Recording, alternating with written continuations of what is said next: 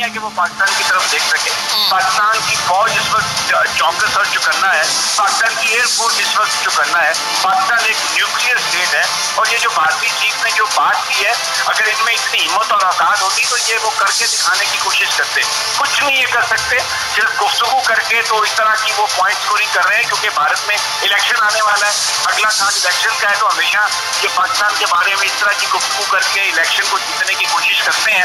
تو یہ سارے کا سارا وہ معاملہ ہے۔ اور ان کی کوئی حیثیت نہیں ہے اور ان کی اوقات نہیں ہے، ان کی اتنی مجال نہیں ہے کہ یہ پاکستان کی طرف پہلی آنکھ سے بھی دیکھ لیکن سمی صاحب کیا بھارتی آرمی چیف نے اس طرح کا بیان دینے سے پہلے اپنی حکومت کو اعتماد میں لیا ہوگا؟ چونکہ مذاکرات سے متعلق جو بات چیت چل رہی تھی وہ تو دونوں حکومتوں کی چل رہی تھی۔ اب یہ اچانک سے کود پڑے ان کا بیان سامنے آ گیا کہ بھارتی حکومت کو بھی اس پر انہوں نے اعتماد میں لیا ہوگا۔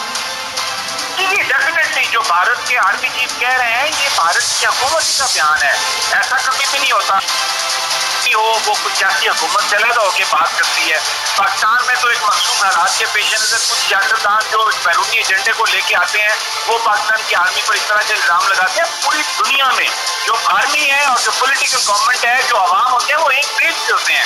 یہ ایک نیشنل سیکورٹی کا معاملہ ہے۔ یہ ان کی سرد ان کا جو اپنا بیانیہ ہے، وہ سارے اس کے مطابق کام کر رہے ہیں۔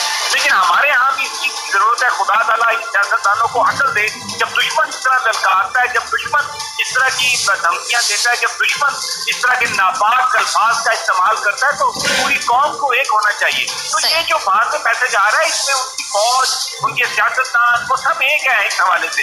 ہمیں بھی ایک ہونے کی ضرورت ہے۔ اور پاکستان ایک نیوکلیر اسٹیٹ ہے اور اس وقت عمران خان پاکستان کے وزیر اعظم ہے جنہوں نے بالکل صحیح ٹویٹ کیا۔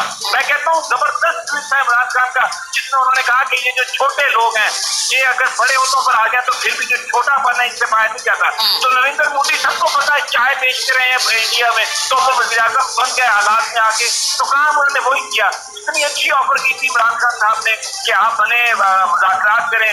لیکن پھر وہ ان کو ان کی فوج نے کہا ہوگا وہاں پر انتہا پسندوں کے آگے وہ لیٹ گئے۔ یا خود ان کے اپنے ذہن میں منافقت ایسی تھی کہ انہوں نے یہ سارے کا سارا جو بھارتی اور پاکستانی گزرا خاصہ کا جو جو میٹنگ تھی مجھے اس کو انہوں نے منسوخ کر دیا۔ تو یہ یہ جو سارے کا سارا معاملہ ہے، یہ جانے دمکانے کی اور دنیا کو گمراہ کرنے کی کوشش ہے۔ لیکن اب پاکستان کا ایک وزیر خارجہ ہے، پاکستان نے اس کو ٹیک اپ کیا ہے۔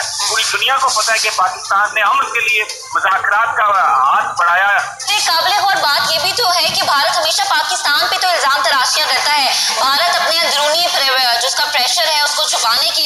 ابھی جو اقوام متحدہ کی جانب سے رپورٹ سامنے منظر عام پر آئی ہے، اس کو چھپانے کے لیے اپنے ہر غلطی پر پردہ ڈالنے کے لیے پاکستان پہ ہی کیوں الزام تراشیاں کرتا ہے؟ پاکستان کو کیوں تنقید کا نشانہ بناتا ہے؟ پوری دنیا جانتی ہے کہ عمران خان صاحب نے بڑے پازیٹیو وے میں اپنی پہلی تقریر میں کہا تھا کہ بھارت ایک قدم آگے بڑھائے تو ہم دو قدم آگے بڑھائیں گے، پھر ہماری جانب سے انہیں یہ کہنا کہ وہ ایک ٹیبل پر بیٹھ کے ہمارے ساتھ مذاکرات کر لیں۔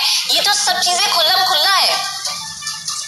بالکل یہ آپ کی بات صحیح ہے، لیکن آپ یہ دیکھیں، ہمیشہ جب بھی بھارت میں الیکشن کا ٹائم نزدیک آیا ہے، تو پاکستان دشمنی کی بات کیا بھارت نے اپنے مخصوص ملکی کے پیش نظر اور دوسرا، جب بھی یونائٹیڈ نیشن جنرل اسمبلی کا اجلاس آیا تو وہاں پر جو کشمیر کے اندر ظلم کرتا ہے بھارت، کیونکہ پوری دنیا اور انسانی حقوقی تنظیمیں یہ بتا چکی ہیں، تو توجہ ہٹانے کے لیے وہ اس قسم کی بات کرتا ہے، یہ بالکل ایسے ہی ہے۔ جیسے امریکہ، افغانستان میں اپنی شکست کی جو رسپانسبلٹی ہے، وہ پاکستان پر ڈالنے کی کوشش کرتا ہے۔ ان کی لاکھ سے زیادہ، ڈیڑھ لاکھ فوج امریکہ کی رہی اور دوسری دنیا کی طاقتوں کی فوج رہی۔ افغانستان میں ہم قائم نہیں کر سکی لیکن وہ اپنی ناکامی ماننے کی بجائے اس کا الزام پاکستان پہ لگاتے ہیں۔ تو یہ وہی مسئلہ ہے کہ دنیا کو گمراہ کرنے کی سازش ہے۔ اور اس کی وجہ صرف یہ ہے، پاکستان پر الزام اس لیے لگایا جاتا ہے کہ وہ اپنی ایک تو شکست جو ہے، اس کو تسلیم کرنے سے آ رہی ہے دنیا اور بھارت خاص طور پر الیکشن کی وجہ سے اور جو کشمیر کے اندر یہ جو انہوں نے مظاہر ڈھائے ہوئے ہیں اس پر یہ اس کی وجہ سے یہ اس طرح کی بات کرتے ہیں۔ تو سمی صاحب اب جنرل اسمبلی کے اجلاس میں وزیر خارجہ شاہ محمود قریشی کا